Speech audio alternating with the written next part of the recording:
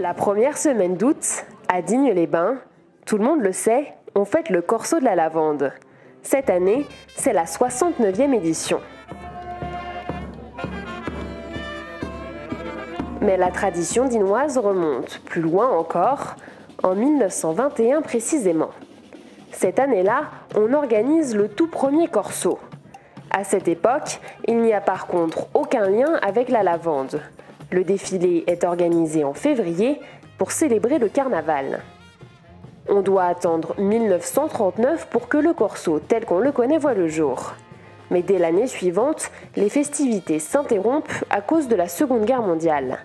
Elles reprennent de façon régulière il y a donc 69 ans, en 1946.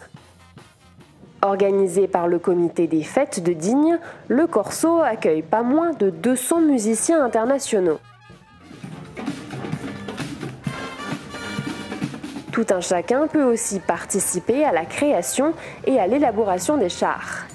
Cette année, plus de 10 000 personnes ont répondu présentes pour cette fête traditionnelle de 4 jours, si représentative du patrimoine culturel et immatériel du Géoparc de Haute-Provence.